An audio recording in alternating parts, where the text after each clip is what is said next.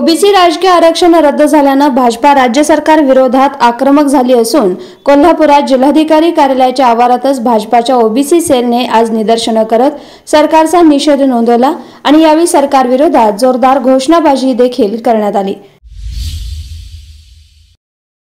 काल पुन्हा एकदा सर्वोच्च न्यायालयामध्ये ओबीसी राजकीय आरक्षणाचा जो अध्यादेश होता त्याला परत स्थगिती मिळाली. एकूणच हे महाविकास आघाडीचं सरकार सर्वसामान्य जनतेच्या कुठल्याही प्रश्नात गांभीर्यानं लक्ष घालत नसल्यामुळं मराठा आरक्षण असेल ओबीसीचं राजकीय आरक्षण असेल हे स्थगित होण्यामागे ह्या महाविकास आघाडी सरकारनं योग्यरित्या काम केलेलं नाही. साडेचारशे कोटीचा निधी द्यायला पाहिजे होता आयोगाला एम्पेरिकल डाटा नीट द्यायला पाहिजे होता.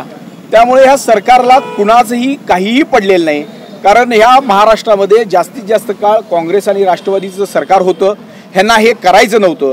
आणि आत्ताच्या सरकारमध्ये सुद्धा या अनैसर्गिक सरकारमध्ये सुद्धा राष्ट्रवादी आणि काँग्रेस आहे की ज्यांना हे करायचं नाही आहे. आणि उद्धवजींना हे दुर्दैवानं समजत नाही आहे की हे घटक पक्षांना हे कुठलंही चांगलं काम करायचं नाही. त्यामुळे गेल्या दोन वर्षात फक्त वसुली भ्रष्टाचार अनैतिकता याकडंच ह्या सरकारचं लक्ष आहे. आणि ही अनैसर्गिक युती असल्यामुळं काँग्रेस आणि राष्ट्रवादीला हे फुकटचं मिळालेलं शासन जे आहे ते दोन वर्षात बरबडण्या ओरबडण्याकडे लक्ष असल्यामुळं त्यांना जनतेच्या सर्वसामान्य प्रश्नाकडं अजिबात लक्ष नाही आणि ओबीसीचं राजकीय आरक्षण जोपर्यंत मिळत नाही तोपर्यंत आम्ही निवडणुका होऊ देणार नाही. ही भारतीय जनता पार्टीची ठाम भूमिका आहे आणि आज सर्व महाराष्ट्रामध्ये भारतीय जनता पार्टी ओबीसींच्या हक्कासाठी रस्त्यावर उतरलेला आहे. ब्युरो रिपोर्ट एसबेन मराठी.